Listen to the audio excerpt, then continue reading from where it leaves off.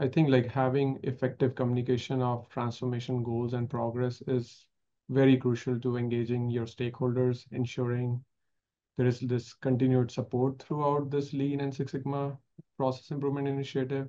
I feel like the the foundational is like clear and consistent messaging. Like yeah. like from the very beginning, it is essential that we need to communicate the why behind the transformation.